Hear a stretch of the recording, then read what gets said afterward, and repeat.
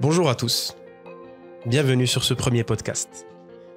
Le sujet de ce premier podcast va concerner l'apparition de l'architecture. Comment les premières formes d'architecture sont apparues et pourquoi? Nous allons faire une petite rétrospective dans l'histoire de l'humanité et essayer de comprendre quel a été le moment, le tournant dans l'histoire de l'humanité, euh, parce qu'il y a certains événements qui sont vraiment euh, très importants à connaître. Et ce sont justement ces événements qui ont provoqué un tournant et qui ont euh, entraîné l'humanité vers la civilisation. Et donc, bien sûr, qui dit civilisation, on le verra par la suite, dit aussi architecture. Alors, avant de commencer à parler un petit peu, euh, dans, ce, podcast, on va faire euh, beaucoup plus d'histoire que d'architecture. parce que bien sûr, on parle encore de, on ne parle pas encore vraiment d'architecture. Hein. Euh, on va s'intéresser à une période qui s'appelle la préhistoire. Et à cette période, on ne parle pas encore vraiment d'architecture. Donc, on va beaucoup parler des sociétés humaines de l'époque, si on peut appeler ça comme ça, et on va s'interroger sur leur mode de vie, sur leur mode d'implantation, et nous allons essayer de comprendre ce qui, à un moment donné, a provoqué l'événement qui a provoqué l'apparition des premières formes d'architecture. Alors avant de parler plus en détail de la préhistoire, je voudrais attirer votre attention sur une idée. L'être humain, qui est un animal social selon les dires d'Aristote, est euh, le seul être vivant sur Terre à élaborer, à construire avec tant de précaution et tant d'ingéniosité son habitat. Si on regarde l'impact des espèces euh, sur la planète, euh, il n'y a aucune espèce qui a eu un impact aussi fort et aussi puissant sur la planète Terre que l'être humain. Alors cet impact, il se traduit de bien des manières, mais euh, d'un point de vue physique, il se traduit surtout par les constructions. Si une espèce extraterrestre venait à regarder et à observer notre planète si elle avait observé notre planète il y a 8000 ans de cela, et qu'ensuite, 8000 ans après, elle venait à observer à nouveau notre planète, eh bien, elle pourrait voir toutes les constructions énormes, les villes qu'on a construites et euh, la manière dont nous avons transformé radicalement notre environnement. Alors, pourquoi Pourquoi cette euh, particularité de l'être humain? On pourrait s'interroger là-dessus. Alors, c'est vrai que si on y réfléchit bien, il n'y a pas que l'être humain hein, qui, qui construit et qui transforme son environnement. Il y a aussi certaines espèces animales euh, qui se servent euh, des matières premières disponibles dans leur, dans leur environnement pour construire des structures. Je pense comme ça, à première vue, aux castors, aux castors qui construisent leurs barrages et qui peuvent parfois même euh, modifier, modifier des cours d'eau carrément. il y a aussi certaines certaines espèces de d'oiseaux, certaines espèces de oui d'oiseaux euh, qui, qui, construisent leur nid aussi. Hein. Euh, il y a aussi les termites, il y a aussi les fourmis, euh, il y a aussi les guêpes. Donc toutes ces espèces animales ont un point commun. Donc elles, elles, vont utiliser leur environnement, les matières premières disponibles dans, dans, dans leur environnement, les transformer et en créer un habitat. Après avoir un petit peu réfléchi, je pense que l'une des clés de compréhension de cette question, donc pourquoi l'être humain produit de l'architecture, et si on compare aussi avec les espèces que j'ai citées précédemment, eh bien on se rend compte que toutes ces espèces sont des espèces qui vivent en société. Que ce, soit les fourmis, que ce soit les guêpes, que ce soit les castors, euh, que ce soit aussi les oiseaux, ces espèces, d'une manière ou d'une autre, ne sont pas des espèces solitaires, mais vivent en société. Et c'est peut-être là la, clé, c'est peut-être là la réponse. À partir du moment où l'homme est un animal social, à partir du moment où l'homme doit vivre en société avec ses congénères, à partir du moment où il existe une structure sociale, il devient presque euh, obligatoire que ces structures sociales, en quelque sorte, se traduisent dans l'espace, sous forme d'architecture. Et puis, euh, je fais exprès de dire ça, hein, parce qu'il y a encore certaines notions qu'on n'a pas encore vues, euh, qui viendront un petit peu plus tard dans le podcast, mais vous allez voir que justement, l'apparition de l'architecture coïncide justement avec cette condition de socialisation, si on veut, de début de vie en société de l'être humain. Alors, commençons notre histoire, ou plutôt notre préhistoire. Commençons par définir ce qu'est la préhistoire. Alors, il faut déjà savoir que la préhistoire est une période qui s'étend à peu près de moins 2 millions d'années, moins 1 million d'années. Alors les bornes ne sont pas vraiment très très précises. Jusqu'à à peu près moins 8000 avant Jésus-Christ. Alors pour ceux qui n'étaient pas au courant, bien même l'histoire finalement a un début et il y avait quelque chose avant l'histoire. Parce que justement le début de l'histoire est marqué par un événement extrêmement important qui va vraiment nous servir, euh, qui va énormément nous servir pour comprendre euh, pourquoi les premières formes d'architecture sont justement apparues. Alors qu'est-ce qu'il y avait avant l'histoire? Donc il y avait cette période qu'on appelle la préhistoire. Donc cette période qu'on appelle la préhistoire est une période durant laquelle l'être humain avait un mode de vie bien particulier. Très très différent du mode de vie que vous pouvez avoir aujourd'hui ou qu'on peut avoir aujourd'hui dans nos sociétés modernes. L'homme, pour subvenir à ses besoins en nourriture, était ce qu'on appelle un chasseur-cueilleur. Un chasseur-cueilleur, c'est-à-dire qu'il devait chasser sa nourriture, chasser donc, euh, les animaux sauvages pour pouvoir manger, et cueilleur, donc il devait cueillir, récolter ce qu'il trouvait dans la nature pour pouvoir manger. Et ce mode de vie exigeait que les groupes d'hommes qui vivaient à l'époque, parce que l'homme a toujours vécu en petits groupes, euh, c'était sûrement euh, une stratégie évolutionniste pour que, pour que l'espèce puisse subsister et survivre. C'était de créer des, des petites communautés d'une cinquantaine ou d'une centaine de personnes. Puis d'ailleurs, il y a encore certaines tribus actuellement, soit dans la jungle très très lointaine, soit dans les déserts, qui vivent encore en petites tribus d'une centaine ou d'une avec 100 ou 200, 200 individus. Donc l'homme, à l'époque, donc pour pouvoir survivre, s'organisait en petits groupes et devait constamment courir après sa nourriture. Donc cela impliquait qu'ils doivent se déplacer constamment.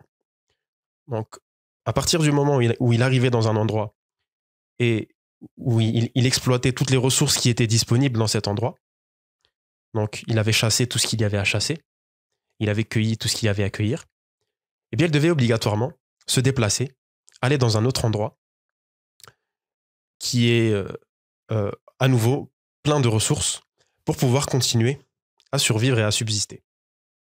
Donc l'homme préhistorique avait un mode de vie nomade. C'est-à-dire que la plus grande partie de son temps était dédiée à la recherche de la nourriture. Il devait, pendant la plus grande partie de son temps, chercher à manger, à subsister, à se nourrir. Et donc, la plus grande partie de son temps était occupée par cette activité finalement. Et cela impliquait un déplacement constant. Donc on appelle ce mode de vie un mode de vie nomade. Et vous l'aurez deviné, un tel mode de vie ne permet pas de réfléchir à autre chose qu'à son ventre. Et extrêmement chronophage, puisqu'on doit passer son temps à chercher à manger pour pouvoir subsister. Donc l'homme préhistorique, finalement, n'avait aucune autre activité en dehors de celle de trouver la nourriture pour pouvoir subsister, pour pouvoir continuer à vivre ou même à survivre. À partir de ce moment, l'architecture était quelque chose qui ne pouvait pas exister, puisque aucune autre activité ne pouvait se développer, aucune autre activité autre que celle de survivre ne pouvait se développer. Et j'ouvre une petite parenthèse pour vous, présenter ce qu'on appelle la pyramide de Maslow. La pyramide de Maslow, aussi appelée pyramide des besoins, a été développée à partir d'observations réalisées dans les années 1940 par le psychologue Abraham Maslow. Donc cette pyramide est en fait une synthèse de tous les besoins humains classés par ordre hiérarchique. Et le premier des besoins humains, comme vous l'aurez sûrement deviné, ou l'ensemble des, des premiers besoins humains sont les besoins physiologiques. La faim, la soif, le sommeil, l'élimination, etc. Donc, parmi ces besoins primaires, il y a bien sûr la faim et la soif. Donc, le ventre vide, on ne peut réfléchir à rien d'autre qu'à manger. Vient ensuite dans cette pyramide les besoins de sécurité. Donc, un environnement qui soit stable et prévisible. Ensuite, des besoins d'appartenance et d'amour, des besoins d'estime et des besoins d'accomplissement de soi. Alors, les trois besoins supérieurs de la pyramide euh, sont des besoins euh, qui nous sont familiers, nous, euh, hommes contemporains, hommes modernes du 21e siècle. Mais à la préhistoire, je pense qu'on s'arrête aux deux premiers niveaux. On va pas plus loin. Donc bien sûr, pour satisfaire les besoins physiologiques, il fallait consacrer tout son temps à rechercher la nourriture, à rechercher la calorie. Et ensuite, en second lieu, venait le besoin de sécurité. Et c'est là qu'on va commencer à parler, entre guillemets, donc je mets vraiment ça entre de gros guillemets, d'architecture. En fait, ce n'est pas vraiment de l'architecture, on parle des abris, des premiers abris. Donc les hommes préhistoriques, pour euh, se protéger à la fois des bêtes sauvages et des intempéries, pour pouvoir euh, remédier à ce besoin de sécurité, eh bien, construisaient des abris.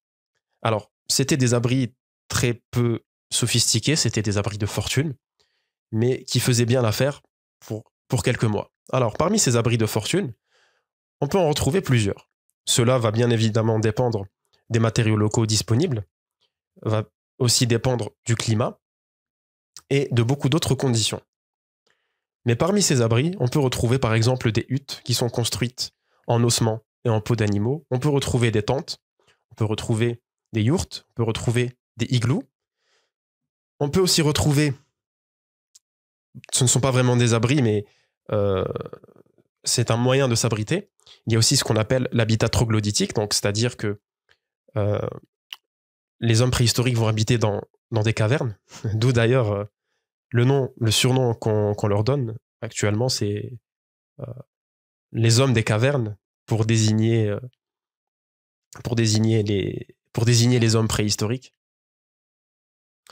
Et donc voilà. Donc c'était les seules formes d'architecture possibles qui étaient rendues nécessaires par cette deuxième par ce deuxième étage de la pyramide de Maslow qui était le besoin de sécurité. se protéger contre le climat et contre les intempéries. Alors on pourrait continuer à épiloguer encore très très longtemps sur la préhistoire, parce que il y a encore eu beaucoup d'événements pendant la préhistoire qui ont été déterminants dans le développement de la civilisation humaine par la suite. Donc, comme par exemple la découverte du feu, ou encore l'apparition des premiers outils. D'ailleurs, entre parenthèses, la préhistoire est constituée de trois grandes périodes. En général, on, divise la préhistoire en trois grandes périodes. Alors, il n'y a pas vraiment de date pour situer ces périodes, mais euh, je vais vous les dire les unes après les autres, sans forcément mentionner de date, parce que de toutes les manières, ce sont des événements qui remontent tellement loin qu'on ne peut pas vraiment donner de date. Donc la préhistoire se divise en trois périodes. Donc premièrement le paléolithique, suivi du mésolithique, suivi du néolithique. Alors, la période dont on est en train de parler actuellement, c'est-à-dire la période des hommes chasseurs-cueilleurs qui s'abritent euh, dans des abris de fortune ou dans des grottes, on est surtout sur la première période de la préhistoire, le paléolithique et le néolithique. Euh, pardon, le paléolithique et le mésolithique. Donc le paléolithique, euh, pourquoi, d'ailleurs il s'appelle comme ça le paléolithique? Donc il est constitué euh, des deux racines paléo et lithique, avec paléo qui veut dire ancienne, ancien. Par exemple, on peut, on peut parler de la paléontologie hein, qui concerne l'étude des fossiles et des ossements. Donc, ce terme de paléo, c'est un préfixe qu'on retrouve à chaque fois euh, lorsqu'on veut désigner des choses qui sont très très anciennes. Et il y a le préfixe, le suffixe, pardon, lithique, qui vient de lithos en grec, qui veut dire la pierre. Donc, littéralement, le paléolithique, c'est la période ou l'époque ou l'âge de la pierre ancienne, aussi appelé âge de la pierre taillée. Donc, pourquoi on appelait ça comme cela? Parce que l'essentiel de l'outillage de l'être humain à l'époque, donc des outils qui leur servaient à chasser, qui leur servaient à découper la viande, qui leur servaient pour de multiples usages. Donc l'essentiel de l'outillage de l'être humain à l'époque était réalisé à partir de pierres taillées. Ensuite, il y a le, mésolithique, qui constitue une période un petit peu plus lointaine dans l'histoire, qui vient après le paléolithique, qui lui se distingue par des, par des changements euh, climatiques par rapport au paléolithique. Alors bien sûr, euh, le but de ce podcast n'est pas non plus de vous fournir une description détaillée de la préhistoire. Je suis juste en train de vous donner bien sûr les détails essentiels comprendre comment les premières formes d'architecture sont apparues. Donc voilà, donc si on devait retenir si on devait retenir l'essentiel de ce que je viens de dire par rapport à la préhistoire, c'est que l'homme obéissait à une économie qu'on appelle de chasseur-cueilleur.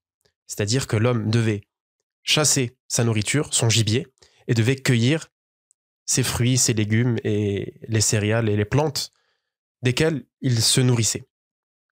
Et donc cela, fatalement, entraînait un mode de vie nomade, où l'homme passait son temps à courir derrière sa nourriture pour pouvoir subvenir à ses besoins primaires. Et en parallèle de cela, il devait aussi construire des abris de fortune pour pouvoir se loger, pas vraiment se loger, mais plus pour pouvoir s'abriter des conditions climatiques et des animaux sauvages. Arrive alors une deuxième ère. Cette deuxième ère, c'est la période néolithique. La période néolithique, étymologiquement parlant, si on reprend le mot, elle est composée des deux racines néo et lithique. Donc néo, bien sûr, comme vous l'aurez deviné, nouveau, et lithique, la pierre comme pour le paléolithique. Donc, ce terme définit en fait, euh, encore une fois, par rapport aux techniques et et aux types d'outillage utilisés à l'époque, désigne en fait l'âge de la pierre polie. L'outillage humain s'est sophistiqué, est devenu plus avancé. Parce qu'une pierre polie est bien plus difficile à créer déjà, est, est censée être plus tranchante qu'une pierre taillée. La pierre taillée, bien sûr, sur le coup, gardera aura un tranchant très très efficace, mais le tranchant n'est pas vraiment très très durable par rapport à l'outillage en pierre polie. Donc déjà c'est un, c'est un, un avancement par rapport à l'outillage. Cette période, qui est le néolithique, est d'une telle importance, a provoqué un tel tournant dans l'histoire de l'humanité, qu'elle est appelée par beaucoup d'historiens, révolution néolithique. Alors, en termes de date, cette période, encore une fois, les dates ne sont pas vraiment très très précises, mais on situe cette période, le début de cette période, aux alentours de entre moins 10 000, moins 9 000, euh, mais c'est plus la période de moins 8 000 qui est retenue. Donc c'est une période qui commence à partir de moins 8000, 8000 avant Jésus-Christ. Et l'un des changements majeurs qui caractérise cette période, je vous rappelle que le paléolithique et le mésolithique se traduisaient par un mode de vie bien spécifique de l'être humain, qui était la chasse et la cueillette. Donc, on n'avait pas vraiment d'économie dite entre guillemets de production, puisque l'homme ne produisait pas sa nourriture, il l'a trouvé en tant que ressource, en tant que matière première, et puis il l'a consommé. La très grande révolution qui arrive avec la période néolithique, eh bien, c'est le fait que l'être humain découvre ou invente ou apprend à produire pour la première fois dans son histoire sa nourriture. Et ça, c'est quelque chose qui a totalement bouleversé l'humanité les modes de vie humains et les modes d'installation des groupes humains de l'époque. Alors, qu'est-ce que ça implique? Qu'est-ce que ça implique? Le fait que l'homme arrive maintenant à produire ce qu'il mange, à produire sa nourriture. Eh bien, cela implique de ne plus courir après sa nourriture. Le mode de vie nomade n'est plus obligatoire. Le mode de vie nomade va progressivement disparaître au profit d'un autre mode de vie qu'on appelle sédentaire. L'être humain va donc arriver à un moment où il va avoir, entre guillemets, le luxe de se stabiliser, de se sédentariser dans un endroit. Et il va pouvoir s'y établir. Et du coup, il n'a plus besoin de courir constamment après sa nourriture et de courir constamment pour sa survie. Donc pour cette période, on parle euh, de la découverte ou de l'invention hein, de l'agriculture et de l'élevage. Alors, j'ai toujours été curieux de, de savoir comment on a inventé ou comment on a découvert l'agriculture et l'élevage, parce que c'est quelque chose qui est tellement évident. Nous, à, nous, à notre époque, hommes modernes, euh, c'est même tellement évident qu'on ne se demande même plus euh, comment notre nourriture est produite. On va au supermarché, on fait nos courses, et puis voilà. Mais euh, j'ai toujours trouvé ça intéressant de se demander comment, quel a été le, le déclic ou quel a été qui a été le premier homme, par exemple, qui a, par mégarde ou par, euh, ou par intelligence, ou peut-être les deux, fait le geste qui a mené à la découverte de l'agriculture et de l'élevage. Donc, je sais pas, c'est peut-être euh, euh, peut-être le peut-être un groupe d'hommes qui avait, je sais pas, jeté des graines, par exemple, et, qui s'est rendu compte que quelques mois après, ces graines euh, poussaient et euh, donnaient exactement la même plante. Et puis, et puis là, il a eu un déclic, il s'est dit, doit y avoir un truc là-dedans, doit y avoir quelque chose, doit y avoir quelque chose à faire avec ça. Et puis, il a, il a essayé de récolter encore plus de graines, et il a planté ces graines euh, d'une manière beaucoup plus... à plus grande échelle. Et puis, il s'est rendu compte qu'il pouvait avoir un champ et qu'il pouvait donc cultiver sa nourriture et s'affranchir finalement du mode de vie nomade. Je pense que ça a dû être aussi à peu près pareil pour l'élevage.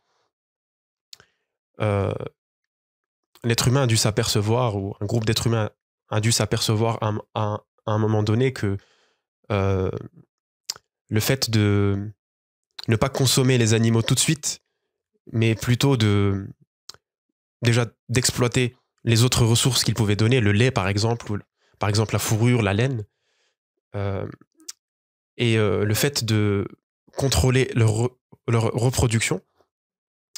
Euh, donc, l'être humain a dû s'apercevoir à un moment donné que, euh, sur, une vision euh, plus sur le long terme, que c'était beaucoup plus efficace de procéder ainsi plutôt que de consommer l'animal pour sa viande tout de suite.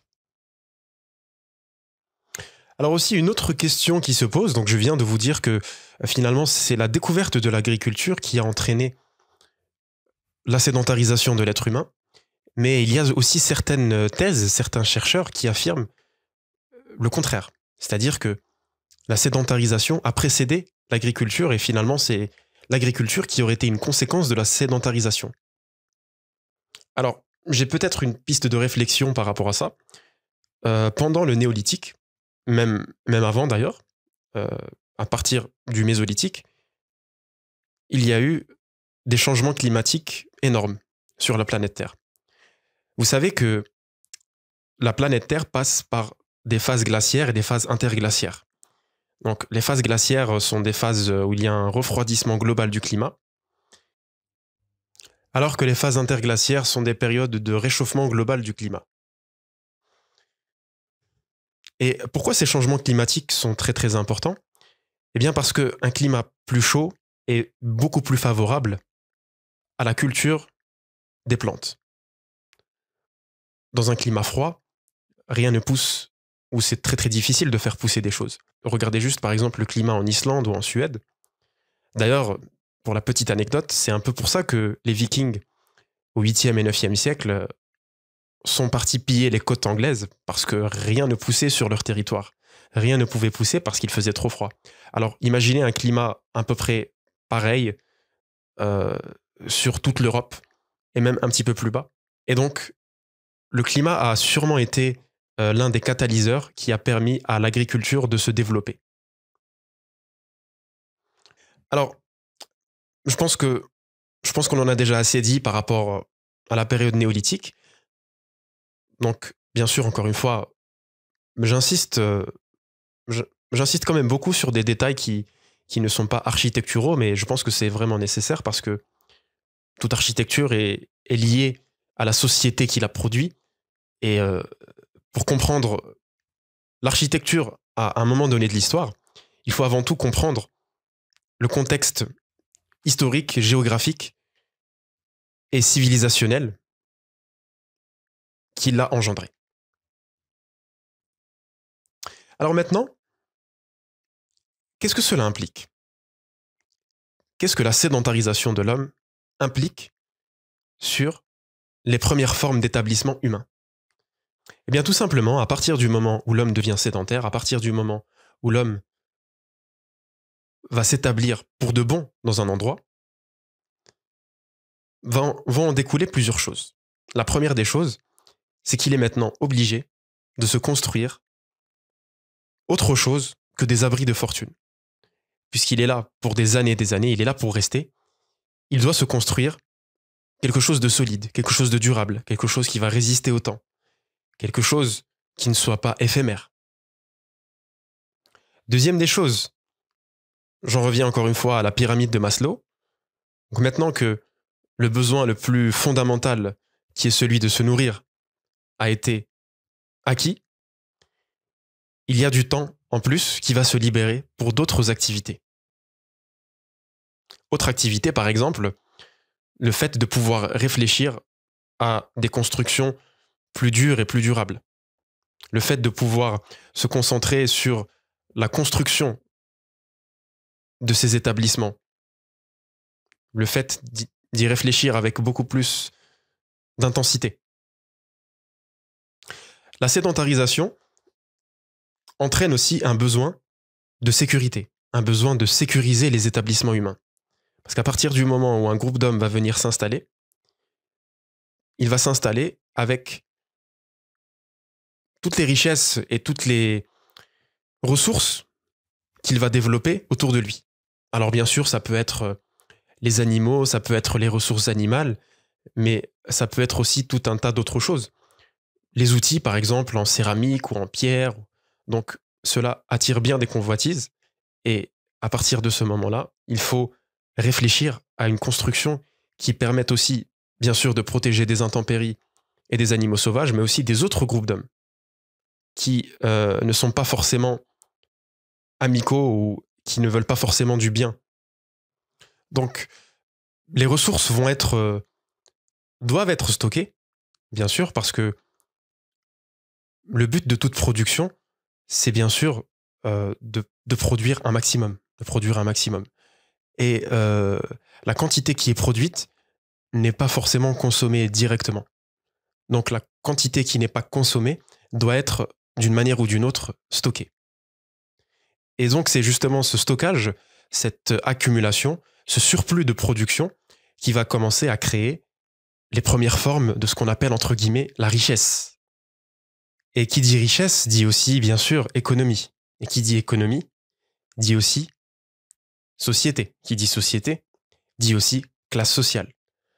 Tous ces concepts qui nous paraissent très familiers à nous ont aussi vu le jour durant la révolution néolithique. Donc l'apparition finalement du stockage et du surplus de production va entraîner déjà une hiérarchisation dans la société. Il doit y avoir des gens qui doivent se spécialiser dans la culture des champs.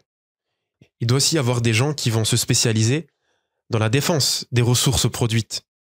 Et c'est l'apparition des classes de travailleurs, des paysans et des guerriers. Des guerriers, bien sûr, que ce soit pour un rôle défensif ou pour un rôle offensif. C'est aussi l'apparition du commerce. Le surplus de production permet d'échanger par définition, le surplus de, le surplus de production, c'est ce qu'on a en plus, ce dont on n'a pas besoin tout de suite. Et donc, euh, très vite a sûrement dû venir l'idée d'échanger ce surplus dont on n'avait pas besoin là tout de suite contre autre chose dont on avait besoin tout de suite. Donc il y a cette fameuse, cette fameuse image du troc, du troc euh, qui constituait peut-être la première forme de monnaie. Alors cette image est remise en question par beaucoup d'historiens, mais je la trouve très parlante. Donc euh, cette image du troc, c'est par exemple quelqu'un qui va échanger un kilo de pommes de terre contre, un kilo de blé, par exemple, parce que les récoltes sur son champ n'ont pas été bonnes, euh, ou il a, été euh, décimé par, par, une, par une maladie, par exemple, et donc il n'a pas pu avoir la quantité nécessaire de blé.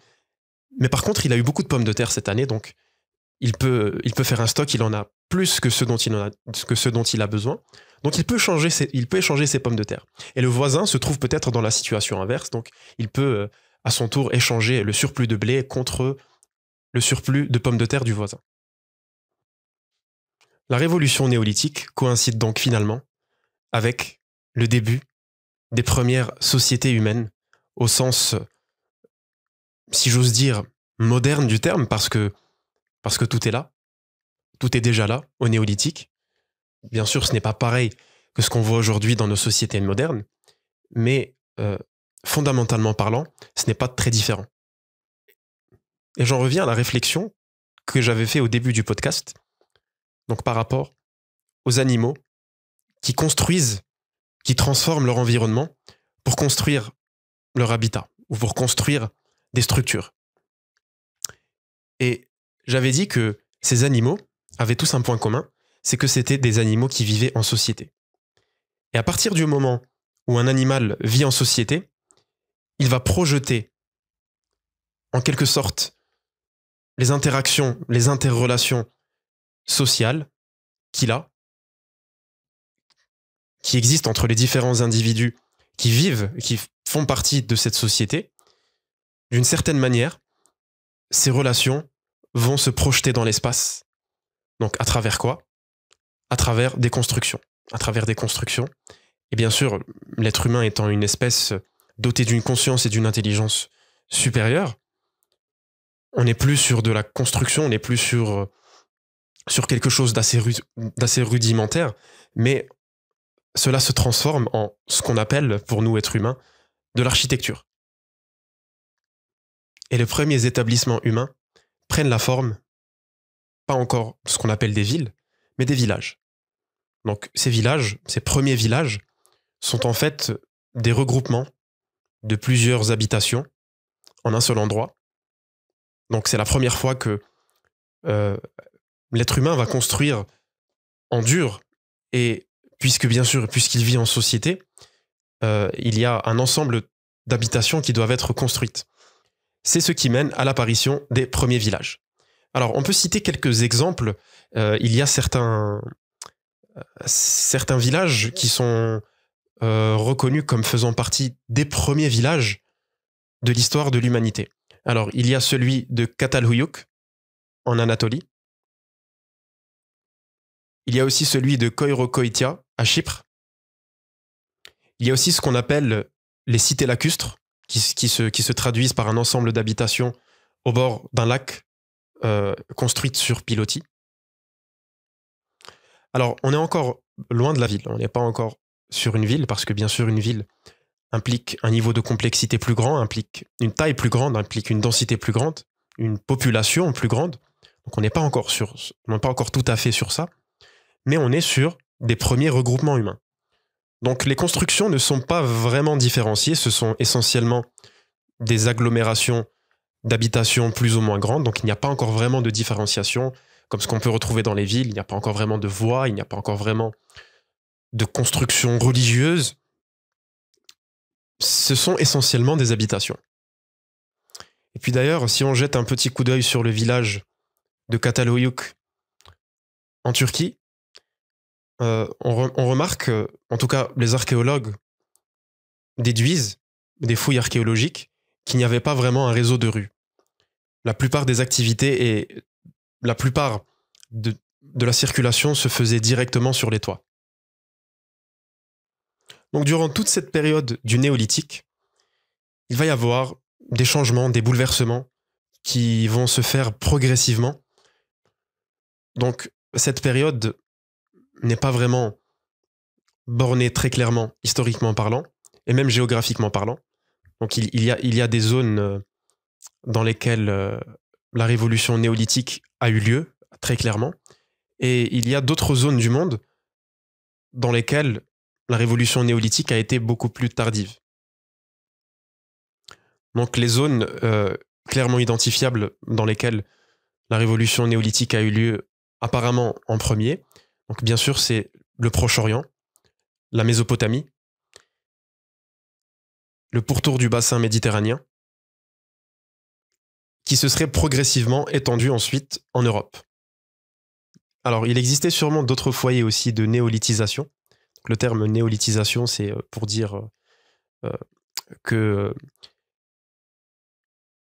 Donc, ce terme, c'est pour dire que une zone géographique a connu la révolution néolithique. Cette période, qu'on appelle néolithique, est aussi appelée par certains historiens proto-histoire. Proto-histoire, justement, parce que c'est la période qui a accueilli les changements sociaux, sociétaux nécessaires pour arriver, bien sûr, à l'histoire. Et pour notre part, c'est ici que notre histoire se termine pour ce podcast. Notre histoire se termine justement aux portes de l'histoire. On fait un bond dans le passé. Nous avons étudié un petit peu comment les êtres humains vivaient pendant la préhistoire. Et ensuite, ce qui a provoqué un changement global avec la révolution néolithique. Et en quoi cette révolution néolithique a provoqué de tels changements dans la société, ce qui a mené à la sédentarisation. Et donc, cette sédentarisation a aussi, elle aussi, indirectement mené aux premières formes d'établissement humain et aux premières formes d'architecture. Voilà, c'est la fin de ce podcast. Je vous remercie de l'avoir suivi.